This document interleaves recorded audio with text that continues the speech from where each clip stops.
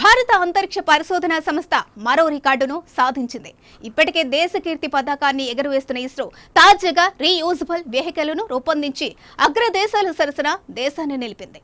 దీంతో మళ్ళీ ప్రయోగించేలా రాకెట్ను తయారు చేసి సత్తా చాటుకుంది. దీంతో రానున్న రోజుల్లో మరిన్ని ఆర్ఎల్వీలను రూపొందించేందుకు సమాయత్తమవుతోంది.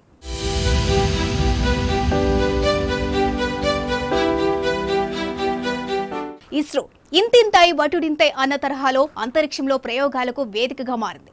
ఇప్పటికే పలు అంశాలు రికార్డులు సాధించిన ఇస్రో తాజాగా రీయూజబుల్ రాకెట్ తయారు చేసి వారెవ్వా అనిపించుకుంటోంది. దీనివల్ల అంతరిక్ష ప్రయోగాల విషయంలో గొప్ప ప్రగతిని సాధించిందని నిపుణులు అంటున్నారు. దీంతో రానున్న రోజుల్లో మరిన్ని ప్రయోగాలు శరవేగంగా చేపట్టే వీలు ఏర్పడిందని అంచనాలు వినిపిస్తున్నాయి.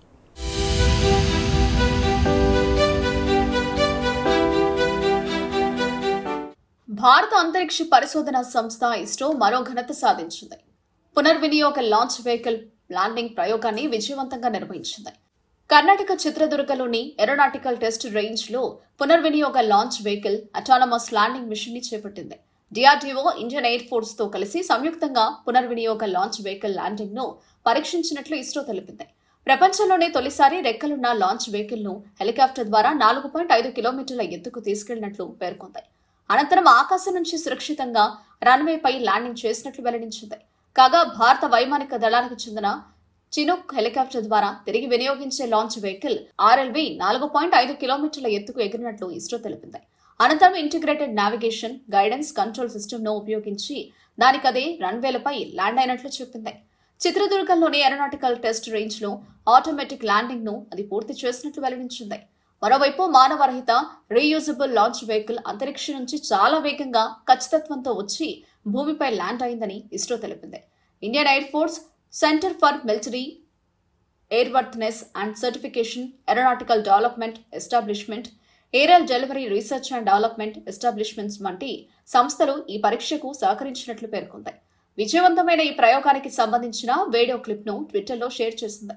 పునర్వినియోగ లాంచ్ వెహికల్ని చాలా దేశాలు ప్రయోగించిన రెక్కలతో తయారైన నేరుగా రన్వేపై కిందకు సేఫ్టీగా దిగే వెహికల్ ఇస్రో ఘనత అని చెప్పక తప్పదు. హెలికాప్టర్ ద్వారా ఈ ఆర్ఎల్వీని ఆకాశంలోకి తీసుకెళ్ళి నాలుగు పాయింట్ ఐదు కిలోమీటర్ల ఎత్తున కిందకు వదిలేశారు. అనంతరం ఆకాశం నుంచి సురక్షితంగా రన్వేపై ల్యాండింగ్ చేశారు.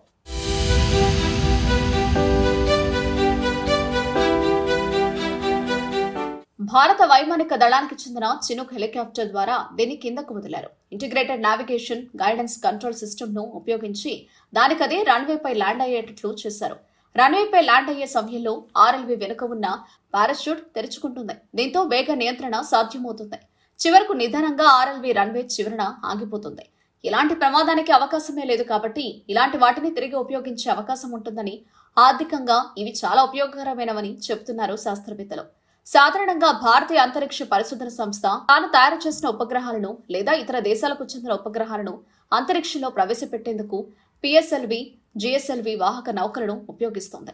ఈ నౌకల పునర్వినియోగానికి ఉపయోగపడేవి కావు. అనగా ఒకసారి ప్రయోగించిన అదే వాహక నౌకను తిరిగి ఉపయోగించలేరు. తదుపరి ప్రయోగం కోసం నౌకను పూర్తిగా కొత్తగా తయారు చేయాలి. వాహక నౌకను మళ్ళీ మళ్ళీ ప్రయోగించే విధంగా రూపొందిస్తే ఉపగ్రహ ప్రయోగ ఖర్చును గణనీయంగా తగ్గించవచ్చు. ఈ ఉద్దేశంతో ఇస్రో పునర్వినియోగ వాహక నౌక రూపకల్పన తయారీ ప్రయోగానికి శ్రీకారం చుట్టింది. ఇస్రో రెండు దశల వాహక నౌక ప్రోటోటైప్ను రూపొందించి రెండు వేల పదహారు మే ఇరవై మూడున ప్రయోగించింది. ఈ ప్రయోగం ద్వారా తలపెట్టిన పరీక్ష విజయవంతమైంది. ప్రయోగం మొదటి దశలో రెక్కలు కలిగిన పునర్వినియోగ వాహనాన్ని ఒక రాకెట్కు అమర్చి అంతరిక్షంలోకి పంపిస్తారు. ఈ పునర్వినియోగ వాహక నౌక యొక్క ముందు భాగంలో పేలోడ్ ఉంటుంది. ఉపగ్రహాన్ని కక్షలో ప్రవేశపెట్టిన తర్వాత నౌక భూమికి తిరిగి వస్తుంది. పునర్వినియోగ వాహన ప్రయోగంలో స్క్రామ్ జెట్ ఇంజిన్ ది ప్రధాన పాత్ర. సూపర్సోనిక్ వేగాల వద్ద పనిచేసే ఈ ఇంజిన్ అభివృద్ధి పరీక్షల దశలో ఉంది. రెండు వేల ఆరులో వరుస భూస్థాయి ప్రయోగాలలో స్థిరమైన సూపర్సోనిక్ దహనాన్ని ఏడు సెకండ్ల పాటు మండించి విజయవంతంగా పరీక్షించారు. రెండు వేల పది మార్చి మూడున ఇస్రో తమ కొత్త సౌండింగ్ రాకెట్ను ఫ్లైట్ టెస్ట్ చేసింది.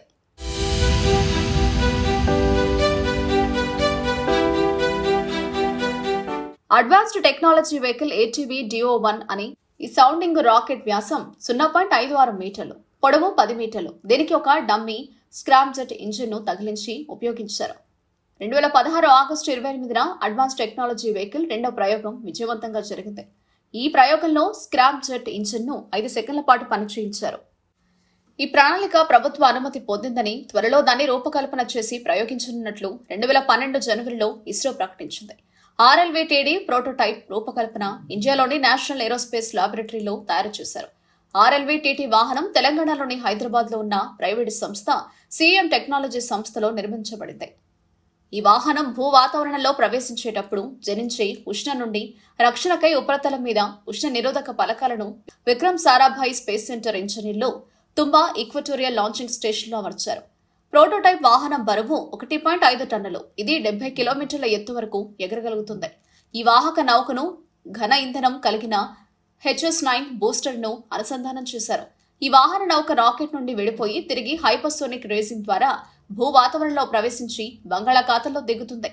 ఈ ప్రోటోటైప్ ఆర్ఎల్వి టీడీ వాహనం దిగుటకు ప్రస్తుతం భూమిపై ఐదు కిలోమీటర్ల పొడవైన రన్వే లేనందున దీనిని బంగాళాఖాతంలో దిగే ఏర్పాట్లు చేశారు.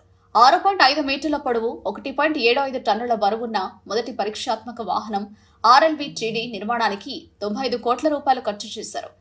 తిరువనంతపురంలోని విక్రమ్ సారాభాయ్ అంతరిక్ష కేంద్రంలోని ఆరు వందల మంది శాస్త్రవేత్తలు ఐదు సంవత్సరాలు నిరంతరం కృషి చేసి ఈ వాహనాన్ని తయారు చేశారు. మరో రెండు ఇలాంటి ప్రోటోటైప్ వాహనాలను రాబోయే కాలంలో ప్రయోగించేందుకు ఇస్రో సంసిద్ధమవుతోంది.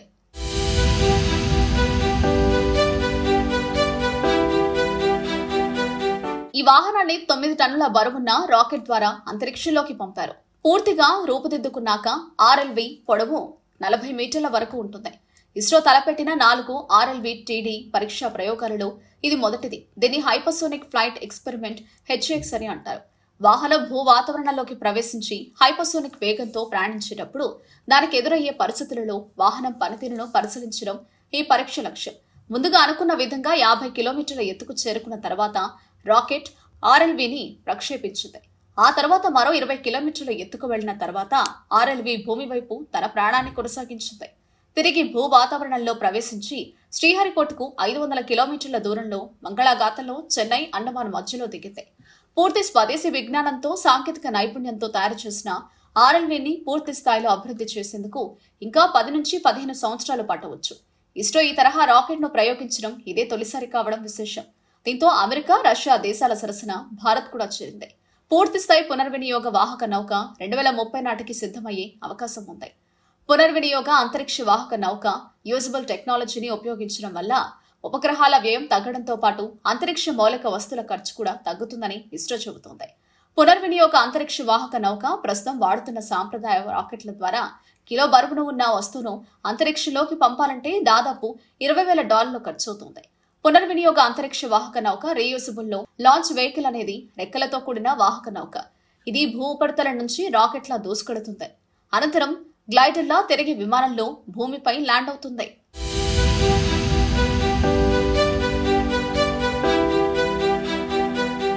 ఇక పునర్వినియోగ రాకెట్ భవిష్యత్తులో మరిన్ని ప్రయోగాలకు నివేదిక కానుందని నిపుణులు పేర్కొంటున్నారు. దీంతో భవిష్యత్తులో భారత అంతరిక్షం మరింత ముందంజలోకి వెళ్ళే అవకాశాలున్నాయని వీరంతా అంటున్నారు.